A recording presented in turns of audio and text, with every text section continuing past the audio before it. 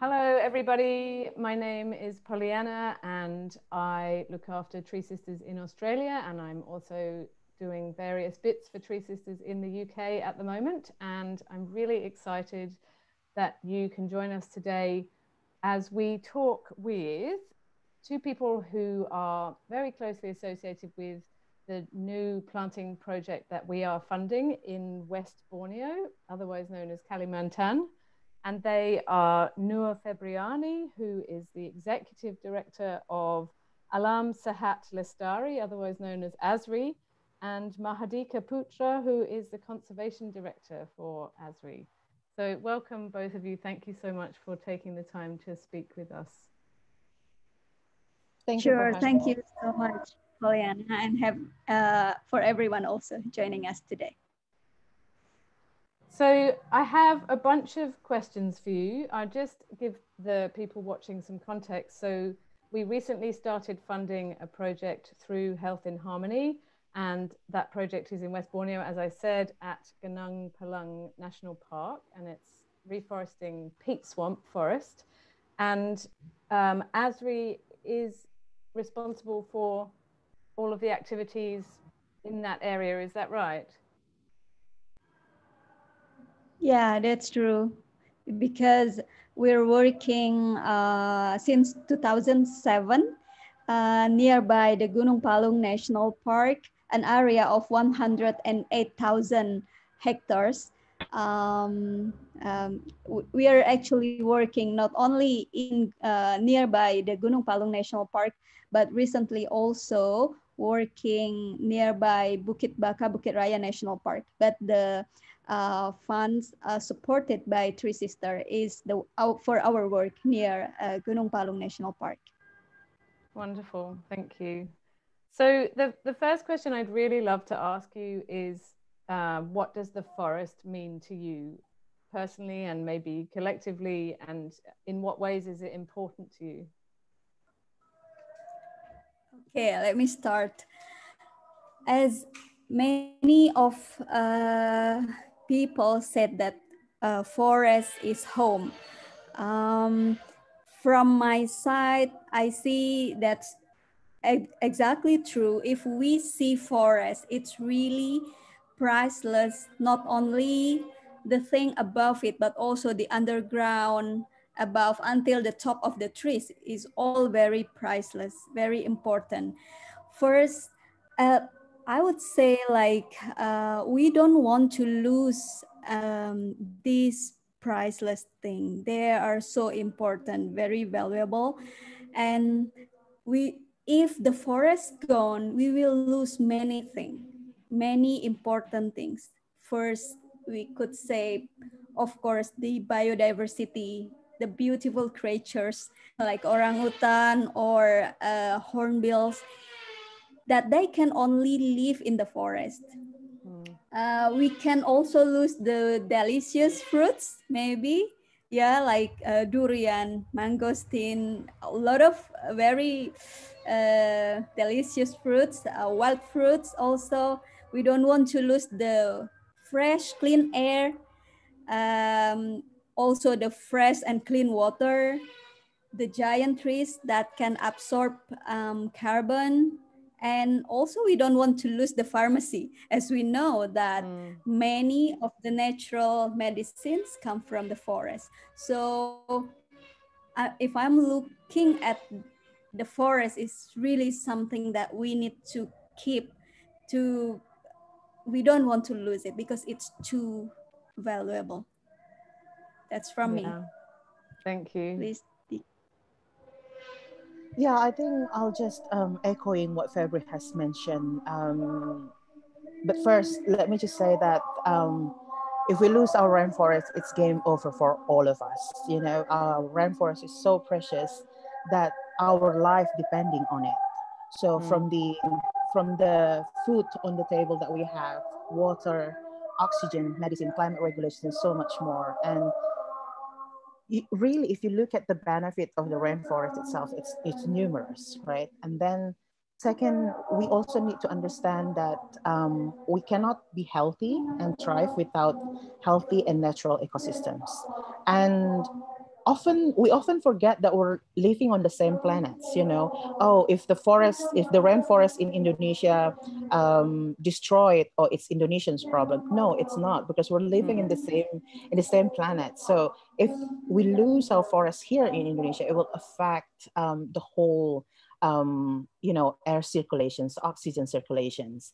And you know it's just um, we just um, oftenly, um, you know, uh, look at things in a diff- in in in silos. You know, we put them yeah. in a, in a separate things, and we forget that they are connected to each other. That we connect to our forest, we connect to the, the ecosystem that we're living in. So um, I think, yeah, that's um, uh, what I think about uh, meaning of the forest, um, and also um, you know, uh, many communities around the world living around the forest that really, really depending on the forest as much as um, they did. I mean, compared to us who may be living in the city, um, if the forest is gone, I mean, their livelihood is gone as well. Um, their food, uh, the, the food of the source of the community is gone, you know. And if their, you know, life affected, our life is also affected. So, yeah. yeah. I think, um, yeah, and it's provide a lot of jobs all around the world as well. So not just um, uh, tangible, um, uh, useful of the forest, but also a lot of, um, you know, um, benefit of the forest that uh, we have not yet seen, but we forgot uh, that it's there. Yeah, thank you. Um, those communities that live in and around the forest, do they have um, like a deeper relationship with the forest uh, um, over and above the food and medicine? Like, is there a spiritual aspect to their relationship with the forest? Um, as for as far as I know, for uh, spiritual um, Malay is not really much into it, but for the Dayak people, I guess is more uh, attached uh, to the forest. Um, like they're also having this uh, in the uh, customary law, like do not uh, cut the forest, for example. So that's uh, they're more attached than um, Malay, but but mostly for Malay people, we're more into uh, food um, and also medicines. Um, yeah. yeah, I think in addition, have... yes, in addition to that, I think in the context of uh, Gunung Palung National Park, where we're working at the moment, um, most of the, some of the people here are um, migrating from Java, so they don't really have um, like historic um, historic ties uh, with, with with the forest. So that's yeah. why they see the forest as a as um, how can I say like as a as a saving you know, where you can always, if you need something, you go to the forest. You know, you need money, you go to the forest. You need food, you go to the forest. You know, but with uh, indigenous community uh, in our replication site in Bukit Baka, Bukit Raya National Park, um, they are indigenous community, so they they have really strong ties with the forest. Um, you know, they honor they honor the forest, and they really have um, um, yeah. Uh, so like strong connections uh, with the forest. Yeah. Okay. Thank you. So I'm very curious how I'd love to hear from both of you how you got involved with ASRI and um, and also how you're involved with the project at Gunung Palung National Park. Okay, so for me, of course, it started when I saw the vacancy in, in 2018. So my background is public health and also development. So I work uh, with um, NGOs before and mostly in health field. Um, and but lastly, I learned more about environment when I work with the IFRC uh, in the area of disaster risk reduction and also and community resilience. so this combination of experience of the health, public health, and um, uh, environment, I think, is a perfect combination also for ASRI. So I replaced the former executive director. I come back to my hometown because I actually come from West Borneo. And so here I am trying to restore the home. Um, and the project with Gunung Pal uh, nearby the in Gunung Palung, yeah, the restoration that we do is uh, in the in the Gunung Palung National Park also. I, as the executive director, of course, I responsible uh, not directly, but uh, Dika is more direct in this uh, project. Uh, but of course, this is uh, very important as the restoration, reforestation is the a core of the, uh, what ASRI is doing. Hmm. Dika, please. Um, yeah, as for me, I also saw the vacancy. I actually applied for uh, Febri's role in the beginning. but so we're kind of like rivalry in the beginning. Um, but yeah, I'm, I'm so happy that Febri got it. And I was offered as a conservations program manager in the beginning. So uh, when I joined, I offered as a conservations program manager. And then one year um, that I joined the program, uh, or two years, I got promoted to uh, program director. So, but my uh, knowledge with Gunung Palung National Park um, has started in 2010 when I did my master. So I did uh, studied uh, endangered uh, tropical trees. Um, I studied their genetics in Gunung Palung, so I took samples, and then I went back to Gunung Palung again for my PhD uh, work in um, different species, but still endangered uh, tropical tree species.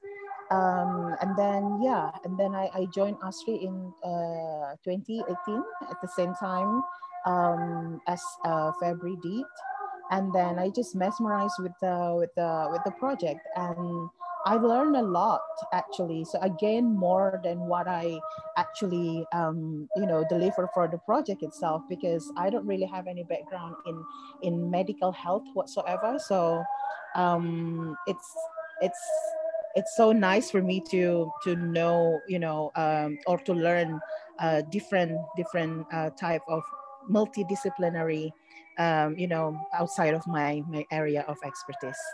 Yeah, Great. So, so um, Febri, one of the things you said made me think about the uniqueness of, of what Health in Harmony and ASRI are doing, which is the combination of the health, the healthcare and the environmental aspect. And I'd really love to hear from both of you um, how that came about and um, anything else that you'd like to share about that combination, because that's quite unique for Tree Sisters has got uh, 11 different projects, and this is the first one that we've got, which combines health and environment in this way. So I'd really love to hear from you both about that.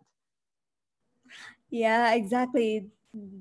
This is also very, very interesting personally for me too, like working in the same building where you you can see the health professional working at the same building with the conservationist, with the educate educators, uh, environment uh, educators.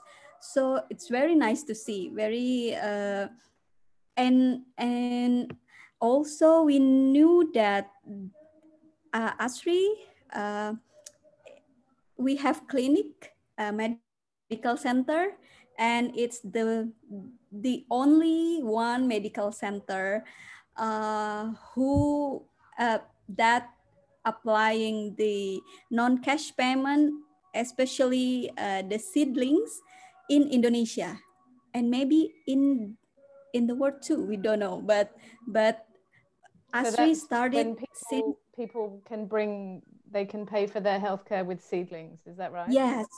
So the patients can pay with seedlings but not only seedlings actually they can also pay with handicrafts. They can also pay with uh, manure um, um, labor too. But the the most popular uh, non-cash payment is the seedlings. Last year only we received more than 23,000 uh, uh, trees from the patients. So for the healthcare and some also for deposits, for savings. Um, so it's the only one in Indonesia, uh, maybe also in the world, that has this system very structured and started in 2007 until now. It's more than 65,000 seedlings have been wow. uh, given by the patients. Yeah. So we are so proud uh, of this um, um, approach and they're all uh, native uh, Borneo uh, species. The trees where we value more for the trees that is more rarely, uh, so the rare species will be valued more than the uh, common species. Um, and because we know the the strong relation between human health and uh, forest health. So the more we know about it, the more we, we valued both.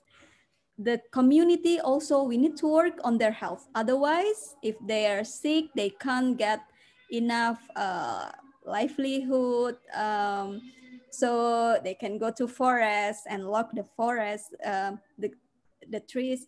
So if they're both healthy and we support with the economic opportunities as well, uh, the education. So this will be a, a comprehensive approach to save both the people and the forest.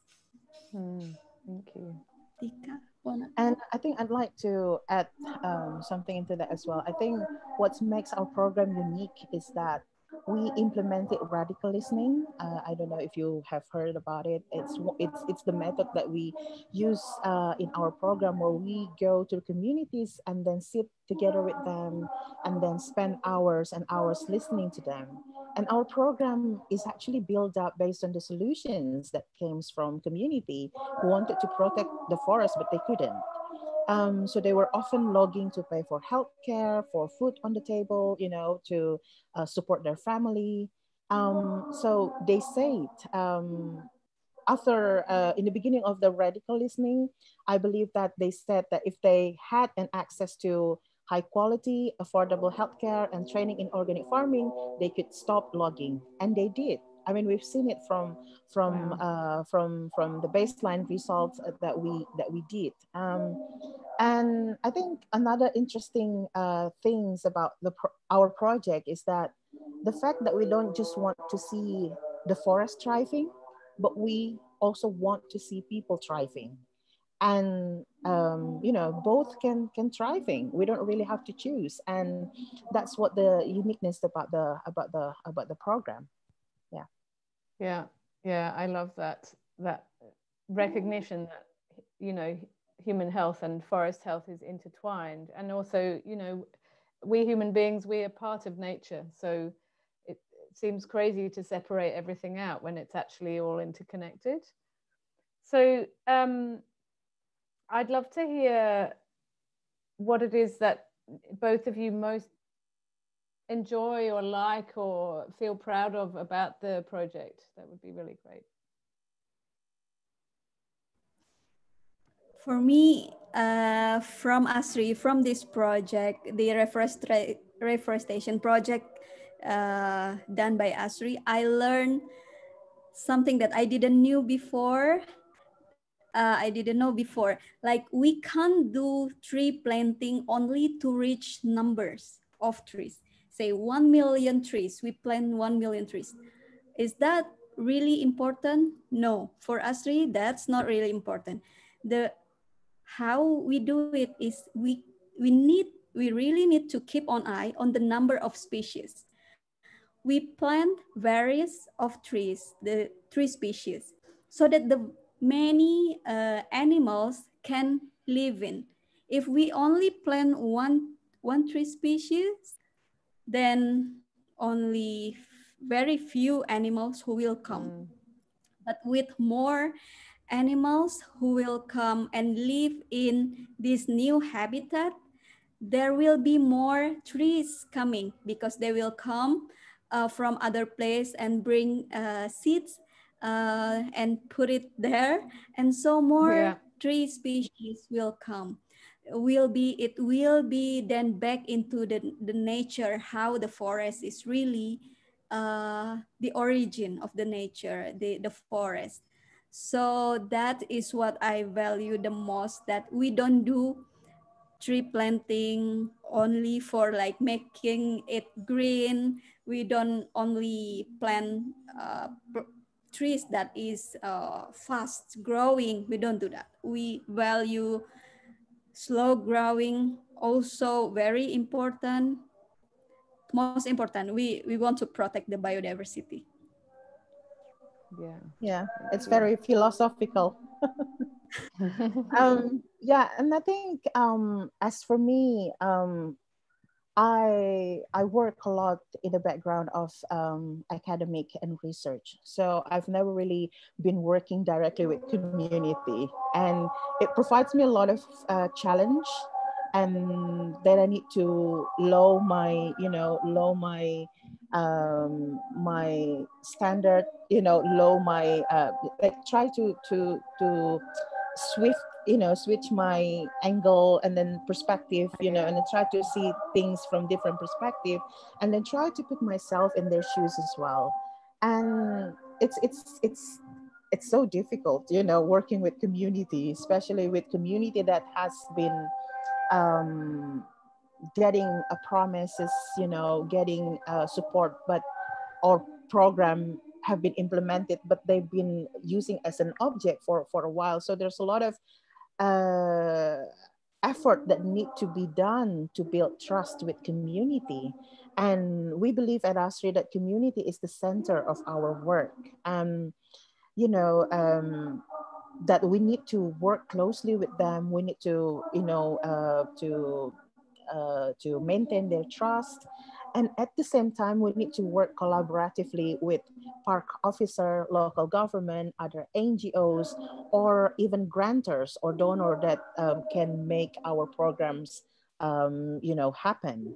So yeah, um, but the beauty thing about working at ASRI is that ASRI does not really focusing on problems, you know, but ASRI are focusing on possibilities because it, it, it provides us with more opportunities and yeah, that's um, I think that's the thing that I really love uh, working uh, with ASRI. Yeah, it's so inspiring. It's such an inspiring the whole um, project and what ASRI does and the combination of health and environment. It's so it's so inspiring.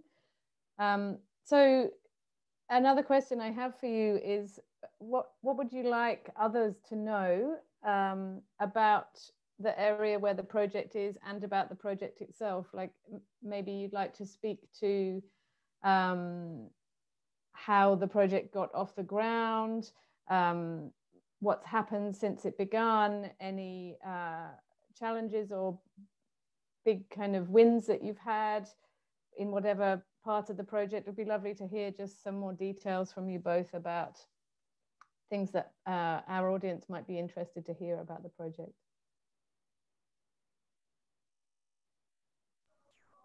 Um,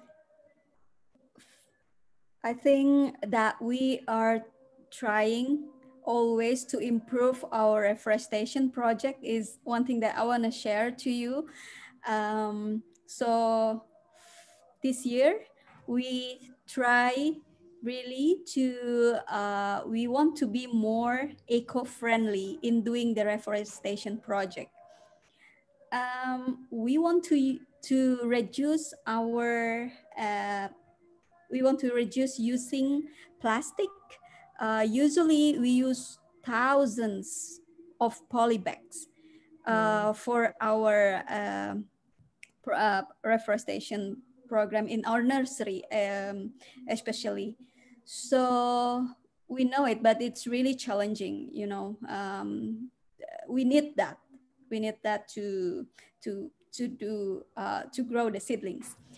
So this year we talked with the Gunung Palung National Park officials officers, uh, and we already uh, work with a group of women near the Gunung Palung National Park, we make uh, biodegradable polybags. So these new eco polybags from bamboo made by women uh, is now being our uh, idea and innovations. We would like to use that more uh, because it will reduce the use of the plastic polybags. So we will use that and actually also that can help uh, the economic of the women also. So this, this is, I think, really a new way that we're uh, doing now, uh, which is uh, like a win-win solution because uh, yeah. this is the problem and now we get this can help the community also to help us uh, reducing plastic. Yeah, that's brilliant. That's really wonderful. Yeah, and another thing that I'd like to add into that is that we um, we have um, we have a program uh, that we call Chainsaw Buyback program. Uh, we bought a chainsaw from the former logger, and then really this former logger who usually who used to destroy the you know the, the forest by um, logging uh, and chopping the tree down we engage them into sustainable program where we where they could um, provide new businesses without have to destroy the forest and then recently we also asked them to plant uh, and growing uh, seedlings um, so that they also contributes um, they also contributes to the to our reforestations work um, so each of them, um, you know, grow uh, about, about 500 seedlings. So not just uh, making a living out of growing seedlings, but they can also, um, you know, uh, involve in, in, in restorations um, firsthand. And yeah, we're, we're very proud that they can transition from, um, you know, a destroyer to conservationist, we hope in, yeah. the, in the future as well. Yeah. I saw I saw on the ASRI website the some photographs of the chainsaw buyback. You know, these big rooms yeah. full of all the chainsaws. It made me wonder where where do they go? The chainsaws. What happens to them all? Febri, would you like to answer this? no, Dika, please, Dika, please.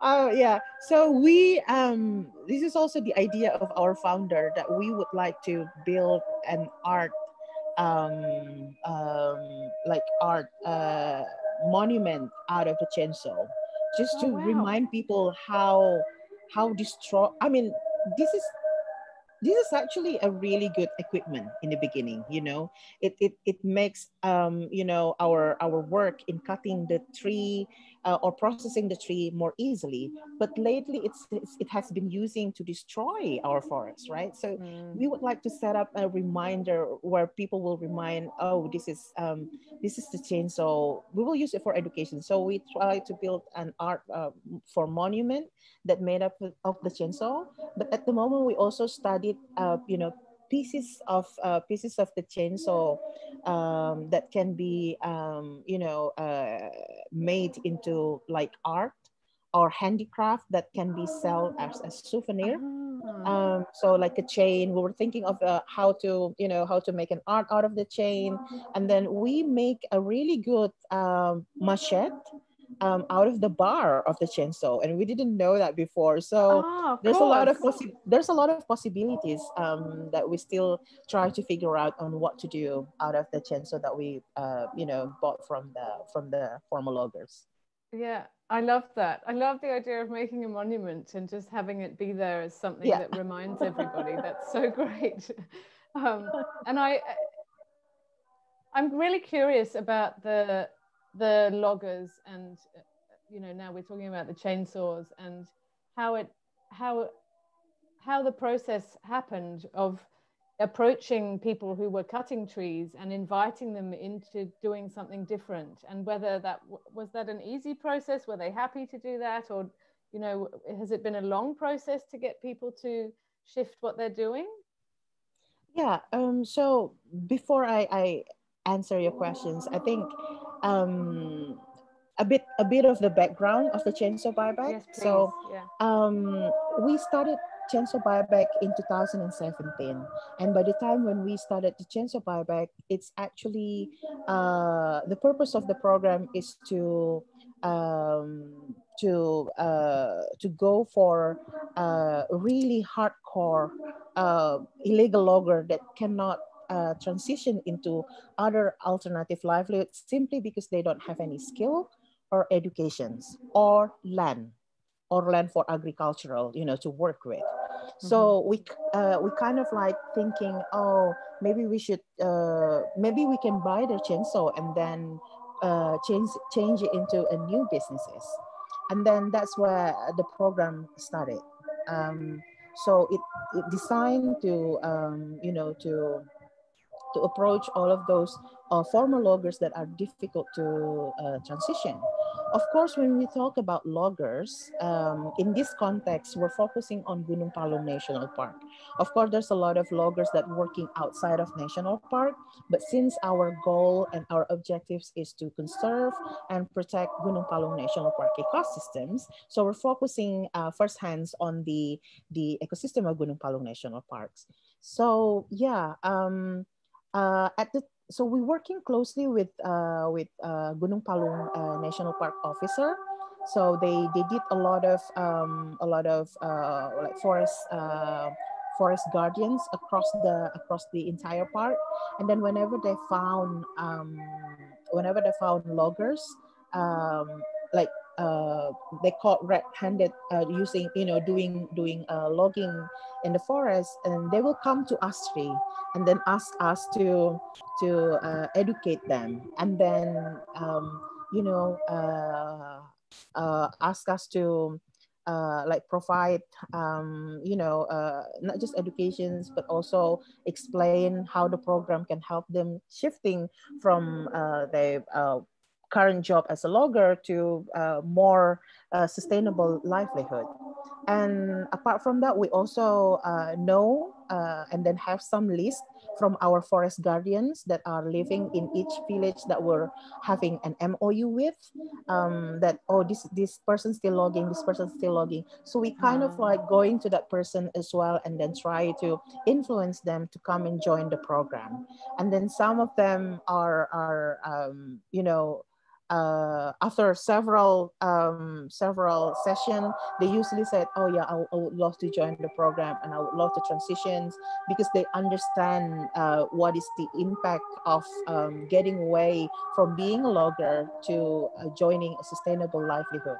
You know, it's it's more safety for them because if they get caught by the by the park officer, they can be put in jail and if they're put in jail you know their family will not um, there's no person that can support their family you know yeah. uh, so they understand that and then they understand that they've been destroying because they simply think that they don't have choice but now that they have choices in front of their you know in front of their faces they might just choose the you know that that uh, that options and then you know uh, move on with with uh, more sustainable livelihood so yeah that's how how we did it. And we usually do a like um like a small interview on the using of uh chainsaw. Like how many trees did they do they cut uh, the chainsaw uh, how many trees do they cut with the chainsaw when they have the chainsaw?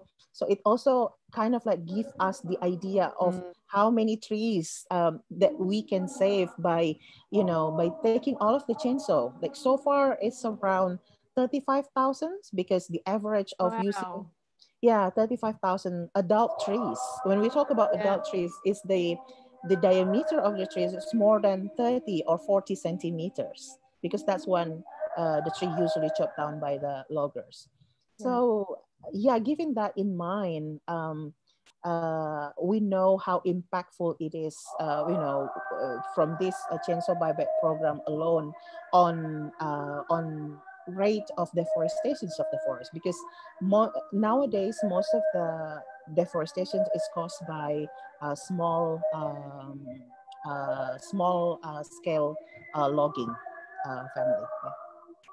But Febri, would you like to add? yeah, uh, perhaps the thing that makes it work, the approach, how to approach these hardcore loggers uh, because we see them as a father. We see them as a husband who want to, they only work to feed their family, no more. Mm. They are yeah. not rich at all. So yes. they're really living in poverty. We can see the house. You can see the house that was in uh, is in the picture in our website. Say something like that. There the one who will be rich is the the middleman and the seller of the uh, woods the logs. Yeah. But they're really not. So there we we come to them and we remind them about the risk they are facing actually. The risk of being caught the risk of getting injuries because of the the trees um, and also they actually owe money before they went into the forest because they need some money for the capital in to to cover the cost in the forest as well as to to provide uh, money for the family. So they have to owe money before they went to go to the forest. But now with their transition to the new jobs uh, for example, they are selling, uh, they, they have grocery uh, also or uh, selling um, uh, whatever, uh, ped, what's that, peddler? Peddling? Peddle shop. Oh, yeah, like peddling. Uh, yeah.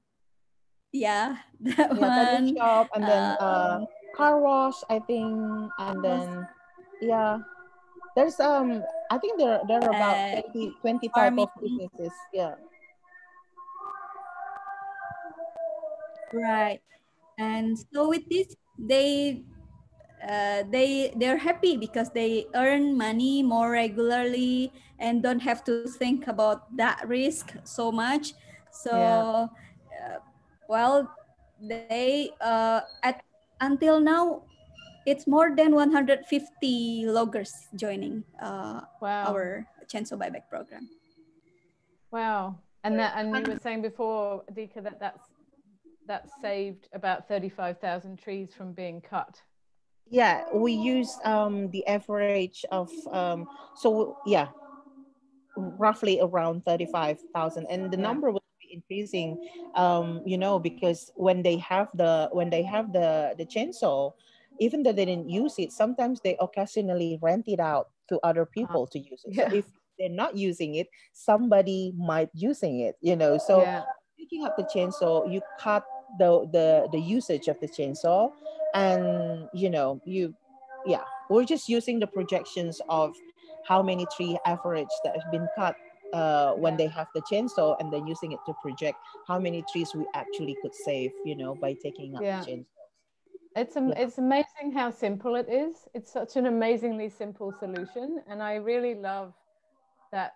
Uh, you know, in a lot of places in the world, loggers are sort of demonized as these bad people, and yeah. I I really love this approach of um, you know really treating them like human beings and and and why are they doing this and what does it yeah. mean for them to not be able to do it it's um it's yeah it's feels very unique and quite wonderful. And, and, they are human being you know? Yeah. they they just um they're just not fortunate i mean if you are a person and logging is the only thing you know since your childhood like you don't really have any skill or educations or whatsoever. We met this one logger that says he regrets that he left school and joined his father for logging. But at the time he doesn't have any choices.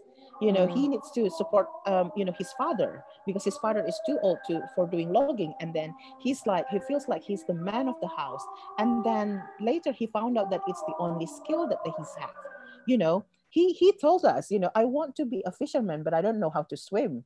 I'll be drowned out you know? I want to be i want to be teaching but i don't know how to teach. I don't have any educational background you know? This is the only thing that i have. And would yeah. this be the end of my life? Would this be the end of my you know for my family just because this is the only thing that i know? No. You know we provide them with with options. I mean and then um, yeah, uh, one more thing in, in our Chainsaw Buyback program, we designed together. So uh, we decided together. So what uh, what type of businesses that they would like to do, we support that. Um, and then if it's if the idea wasn't really good, for example, oh he wants to open small shop, but there's plenty of small shop in the area, so it doesn't really make sense. So you know they need to make their, themselves stand out in order to attract more customer, for example you know, and then we shop together. So we don't give them cash, you know, uh, in, in, in exchange of the chainsaw that they given to us. So we, we, we shop together, you know, what do they need to establish their new businesses? We provide it with, uh, with the money, um, you know, uh, and as an exchange of the, of the chainsaw. So that's how, how we do it. Yeah, that's amazing. That's really amazing. Um, I'd also love to hear a little bit about the the organic agriculture program because I know that that's what some of the is, is it that some of the people who were logging have switched to organic agriculture or is or is it that people needed to switch to organic agriculture for a different reason? Can, can yes uh, more than more than 50% of the former logger um, has transitions into uh, farming. So in the beginning of the program in 2007 we have counted roughly around 1,350 loggers. And then just five years into the program, um, we only have 450 loggers left. So most of these loggers easily transitions into farming because they own land. Um, right. Yeah, and then, but they they um in in our radical listening sessions they were kind of like asking yeah but we don't really know how to manage the land using uh, non-chemical uh, fertilizer. Will you be able to teach us on how to use uh, or organic um, you know fertilizer organic pesticides? And that's what we did. So um, since 2009 we formed uh, around 19 uh, sorry, a 17 uh, group, farmers group. And then since then, 10 of them has been registered uh, in, in, in, in, in the government, which means that they can access um, uh, local funds or government funds to support their, um, you know, their, their uh, farming. Uh, but we also keep uh, doing uh, a lot of training, uh, intensive training with the community on how to make uh, organic fertilizer, organic pesticides, how to, you know, grow their own seedlings, um, yeah, and then improving quality of the of the products. Which is also contributing to the health of the whole community and and the animals and the forest and the water and everything. So it's yeah. really amazing. So um, probably this would be maybe the second to last question. I'm just curious about whether there's been any significant impacts on the project and the communities in the project because of COVID-19? Um, from ASRI, we got some new uh, project after this COVID for the community. So we have a program called um, COVID Stimulus Conservation Fund, where we help the loggers, Dika already thought about it, that the loggers who are now uh, trying to survive their new business after transition. But you know, with the challenge of COVID, some mm actually economics is uh, difficult now. So like the shop is not as uh, crowded as before. Uh, uh well it's uh, the the demand is reducing. So uh, they need help in the economic side. So we, what we are doing with this covid stimulus program we ask them to to grow seedlings, which will then be used in our reforestation and we pay them with that. And that's actually really helpful because they can work uh, to run their business, but also still just, you know, just uh, growing seedlings. They have that.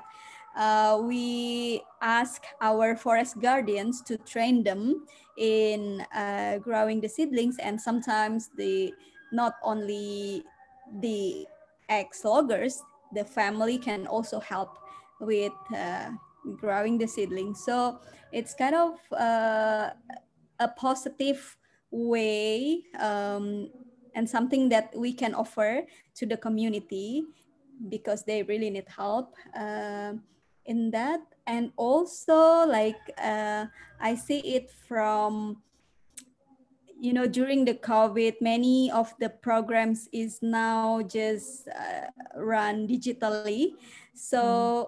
it's in also a good way for ASRI to share what we are doing now we run many webinars uh, and people in indonesia or or outside of indonesia can know and listen uh, to what we are doing and uh, it's a, in a good way they also we got more support like uh, morally and also some financially like people who wants to involve directly to ASRI. Yeah, it's an unexpected benefit yeah, of having exactly. switched to digital. Yeah. And also, exactly. Otherwise, otherwise, who will know ASRI? It's the only a small NGO near the jungles. Like yeah. no one comes to this area. But with with after the covid it's many people knows ASRI now. Yeah. And I think uh, Febri forgot to mention as well, you know, we know, we realize that um, COVID-19 has impacted, um, you know, global economy and with our community here as well, it's as well as impacted, you know, so we uh, we also in in in part of the COVID-19 stimulus uh, program we bought um, you know uh, agricultural products from our farmer. Uh, and then uh, we distributed the products that we purchased from the farmers to uh, to you know to unfortunate people in the community. So like um, you know widows um, um, old people, for example, you know, people were affected from from COVID-19 or people, you know, less unfortunate, less fortunate people. So we, we, we distribute the, you know, the products that uh, we purchase from our farmers. Yeah, brilliant. It really seems like ASRI is um, supporting the communities and the forest in so many different ways that are all kind of interwoven. It's very holistic. It's a brilliant model. So um, I know uh, one of the one of the things that's really appealing to a lot of our donors is the the um, possibility also in in amongst all of this of protecting and uh, wild orangutan habitat. And I wondered if if either of you might like to say something about the orangutans just before we wrap up. I think I'll start with me. Um, the orangutan is one of the key species in Gunung Palung National Park. Um, actually, both uh, Gunung Palung National Park and our site replications, it's uh, considered to be um, the, the habitat for orangutan. While in Gunung Palung National Park, we try to protect uh, roughly around 2,500 wild orangutan. Wow. And the orangutan that has been rescued or uh, it has been rescued will be translocated into uh, BBBR site in our replication site. So both um, both uh, sites were were so special to our heart. And not to mention about the biodiversity and type of ecosystems in Gunung Palung National Park. Um, there are seven types of ecosystems. So at the moment, we work in two types of ecosystems in tropical lowland area and a peat swamp area. And then one of the future project that we will have with Tree Sister is actually located in peat swamp area and, um, and, and lowland area. So um, uh, in our restorations project, uh, of course, um, you know, our organizations, it's not uh, directly focusing on the conservations of orangutan. Um, mm. There's, um, there are two organizations in the landscape that are working uh, to achieve the conservations of, of the species, of the orangutan species.